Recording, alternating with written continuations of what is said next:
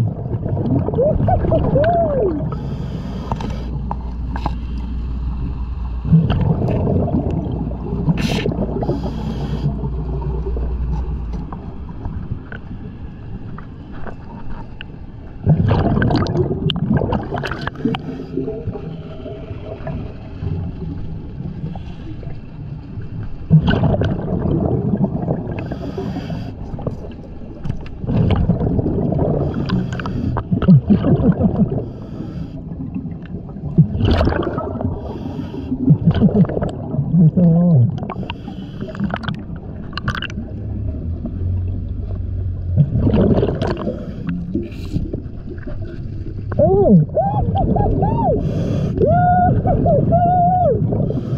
Oh!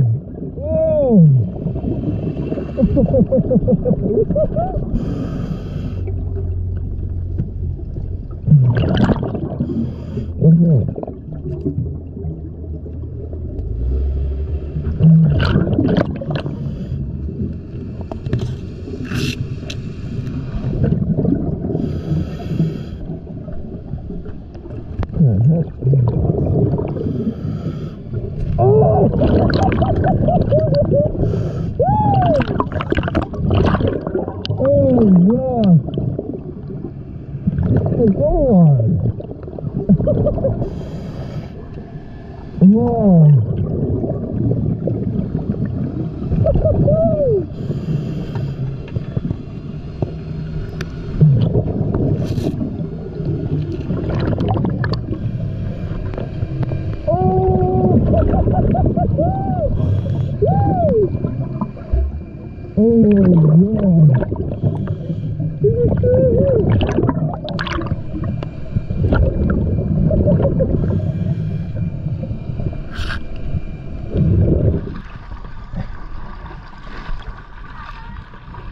got it.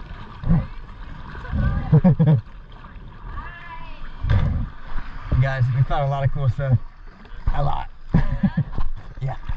All right guys, so this is my buddy Jared. He's been a childhood friend of mine for the longest time. Now before I show you guys all the cool stuff that we found today, I think we're actually gonna go surfing. So this is like one of the best boats to, uh, to wake surf. And Jared here at Skier's Marine is gonna tell us a little bit more about this craft and why it is one of the best. Yeah, so we're on the Mastercraft XT23. It's of course 23 foot long, um, and it's just got the Gen 2 surf system, which is really cool. Yeah. Um, so basically, you just hit a few buttons, you activate the profile you want to surf. I know you're you surf goofy, so Yeah. you're gonna be on the right side. Uh, you just set it up, hit a button, it fills all the ballast, it sets your cruise control, it sets the Gen 2 surf system, and you're ready to rock. That's awesome. So we're gonna go surf for a little bit and then I'll show you guys all the treasure. But again, I'm gonna have all their information in the description box below if you live near Lake Martin. But they also have two other locations, right?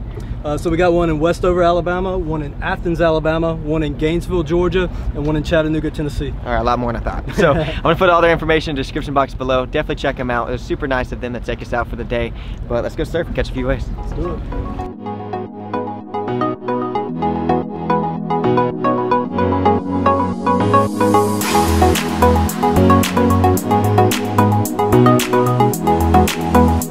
All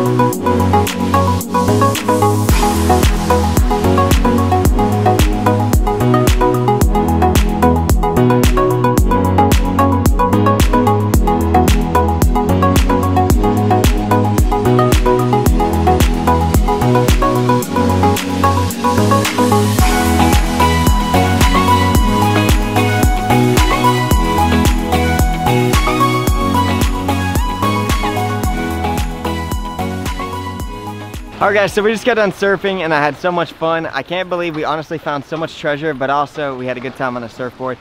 But I do want to show you guys everything I found in detail. So first off, I'm gonna start off with the trash.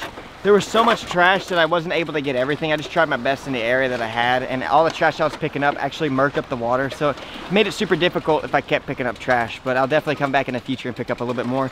We're gonna throw all this away here shortly. But I've got a bag full of treasure, and like I said, this is definitely one of my best days of treasure hunting in a long time. Let me show you guys everything I found real quick. I'm gonna start off with my first find of the day, and it's an Apple Watch. Check it out. It's a Series 3 Apple Watch. Now, it doesn't turn on when I click the button, but who knows, you know, you put it on the charger, let it dry out or something, maybe it'll turn back on. And all this treasure that I found, I'm gonna be sure to give it back to the rightful owners completely for free if I can figure it out. So maybe this person will get lucky. My second find of the day is another Apple Watch. Check it out. What's pretty crazy is uh, I've actually never found an Apple Watch other than the default band. This is like a Velcro band or something, but didn't work for this person. They jumped off the cliffside and lost their Apple Watch. Same thing, this one's not turned on, but I'm gonna dry it out, see if it charges up, and I'll be sure to give it back to the person, and I'll be sure to update you guys too. And my third favorite thing I found today is a GoPro Hero 8. This is the newest, uh, oh dude, this is the black actually. This is the best of the best and the newest one. I'm not too sure if this one turns on. I clicked the button. I think the battery might be dead, but like everything else, let's take it home, dry it out, and see if it turns on. And if we can find the owner, we'll be sure to give it back to him. So there's always amazing footage on these GoPros that are lost. If you want to see a video where I review the footage and try to find the owner, leave a like on this video. I'll make a deal with you guys. If we can break 50,000 likes on this video, we'll review the footage and then show you guys that, and hopefully we can find the owner and give it back to him. Whether I find the person or if I team up with you guys here on YouTube, hopefully we can find that person so we can give it back to him. All right, so my fourth favorite find that I came across was an old Fitbit. Now, I'm not too sure if this turns on either, but that's pretty cool. And then other than that, I found two Juul-like things. Uh, I guess they're just e-cigarettes, something like that. Uh, and I got one more thing. I had no expectations of finding something like this, and I honestly can't believe it, but I was searching the edge of the cliff wall. It wasn't at the very bottom of the lake, it was actually on the wall, and I found a gold wedding ring. Check that out. I believe it's real, it feels pretty heavy. If you know anyone who lost a wedding ring at Lake Martin's Chimney Rock, feel free to send them this video, take a look at it. If this looks like your ring, send me some proof, and then I'll send it to you for free. I hope you guys enjoyed today's YouTube video. If you guys did, make sure you guys leave this video a big thumbs up. Remember, if we can break 50,000 likes, if there's footage on this lost GoPro Hero 8 that I found, we'll review it and try to find the owner and we'll give it back to him completely for free. I'm not too sure if it's gonna work, but it'd be really cool to see the lost sunken footage. So yeah, drop a like if you guys wanna see that. Also, don't forget to subscribe if you guys are new. I'd love for y'all to join me on my next adventure. But till then, I'll see you guys next time. Thank you so much for watching.